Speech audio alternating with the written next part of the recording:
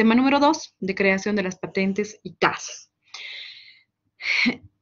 Este tema es mucho más sencillo que, el, que la creación del procedimiento para la creación de leyes municipales de impuestos, ¿ya? Porque también tenemos un marco normativo un poco más estrecho. Eh, vamos a hablar de tres puntos en, esta, en este tema, sobre el marco normativo, el procedimiento y el estudio de costos para tasas. Eh, el, el paraguas más importante de la construcción de normas de carácter municipal está en el artículo 323 de la Constitución Política del Estado en cuanto a los principios de política fiscal, el procedimiento que ya lo hemos señalado de que es Consejo Municipal quien aprueba las leyes de carácter municipal, en el caso de, los departamentos de la Asamblea Departamental, y las condiciones limitantes que establece la Constitución Política del Estado para la creación de tributos para las entidades territoriales autónomas.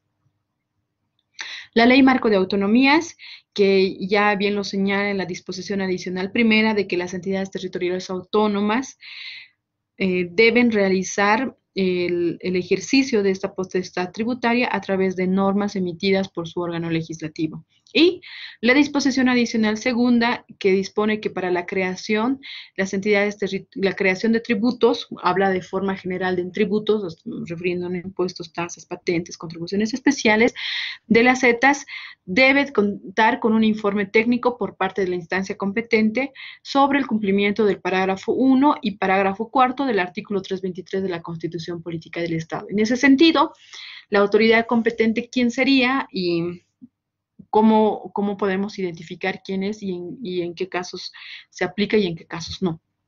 Bueno, primero vamos a hablar eh, del decreto supremo de organización del Poder Ejecutivo que hace referencia a que es el Ministerio de Economía y Finanzas Públicas quien ejerce la autoridad fiscal por parte del Estado Plurinacional de Bolivia.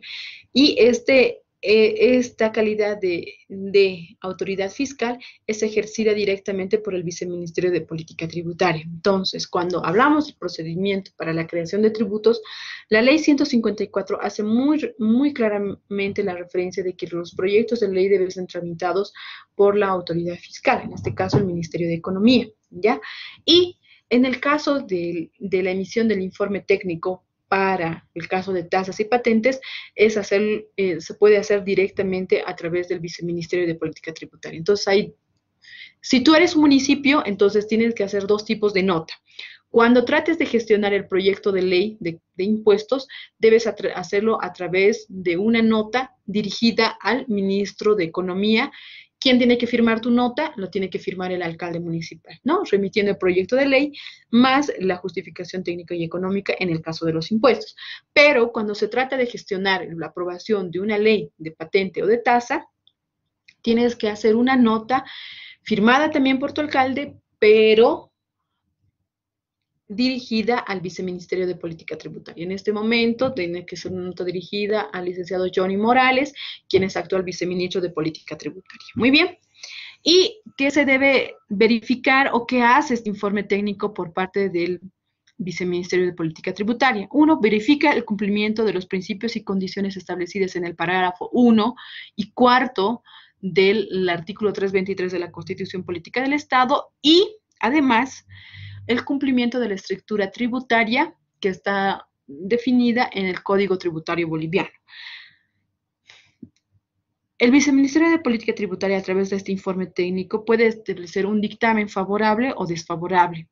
Un dictamen favorable o desfavorable sobre qué? Sobre el hecho generador establecido en, el artículo, en los artículos que hacen referencia a cada uno de los tributos del Código Tributario. En qué momento se hacen, se perfeccionan los hechos generadores o si se, está definiendo correctamente eh, tanto las patentes municipales como las tasas.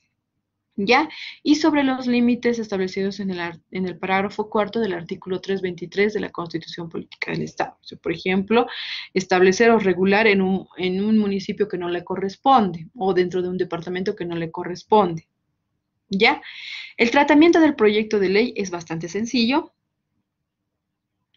Eh, para poder efectuar el tratamiento del proyecto de ley, se debe remitir el proyecto de ley, en el caso de tasas, más el dictamen favorable dictamen técnico favorable emitido por el Viceministerio de Política Tributaria al Gobierno Autónomo Municipal a través de su órgano legislativo y mediante ley aprobar el proyecto. ¿Ya? Una vez que se apruebe el proyecto de ley en el Consejo Municipal, este es pasado al órgano ejecutivo para que se promulgue la ley y además que dentro de los plazos que prevea la norma, efectuar la reglamentación correspondiente. Y de acuerdo a lo que dispone la ley 154 en su artículo 25, una vez que se promulgue la ley o una vez que la fecha de la publicación oficial de esta ley, tiene un plazo de 10 días para poder ser remitido al ministerio, al viceministerio de política tributaria, la ley, la ley promulgada. ¿Ya? Ahora, en el caso de que fuera una tasa, además del proyecto de ley, se debe incorporar un estudio técnico sobre el establecimiento de las tasas, sobre un estudio de costos sobre el establecimiento de la tasa tributaria. Y más el dictamen técnico favorable debe ser remitido al órgano ejecutivo. Cumplir el mismo procedimiento para poder posteriormente ser promulgada esta ley a través del órgano ejecutivo. Muy bien. Creo que está bastante claro, bastante sencillo. Y lo más importante creo que de, de este tema eh, de las tasas y de las patentes. todas las leyes municipales deben contar con un informe técnico, legal y económico. Ya eso ya lo hemos dicho.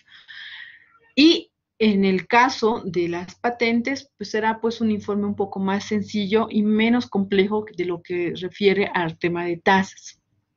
En el tema de tasas, eh, es necesario establecer un, un, estudio técnico de costos para determinar la tasa tributaria, ¿ya?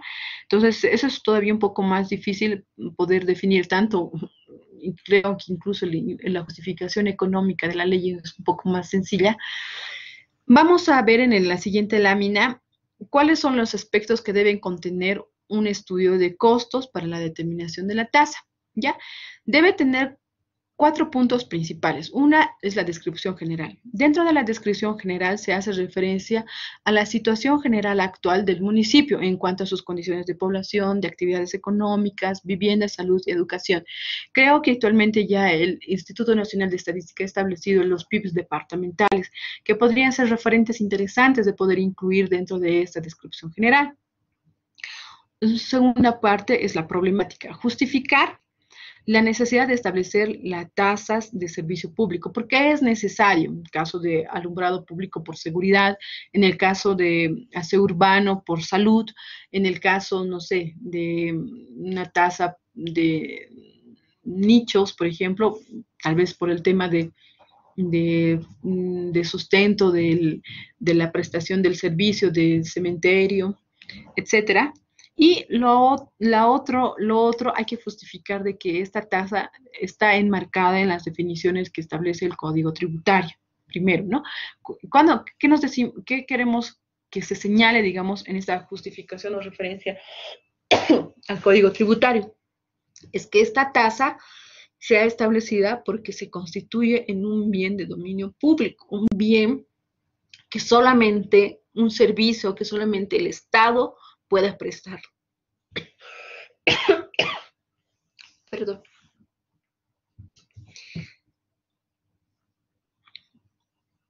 Y el punto más importante en el estudio de costos es el análisis de costos. En el módulo anterior hemos podido revisar detalle a detalle cuáles son los componentes de los costos. ¿Ya? Pero en este capítulo de la elaboración de este estudio de costos, es importante primero describir el servicio que se va a prestar, desde la parte logística y operativa hasta las necesidades, de cómo se va a prestar este servicio, quién va a efectuar la recaudación, cómo se va a recaudar, para qué va a servir esta recaudación, etcétera. ¿Ya?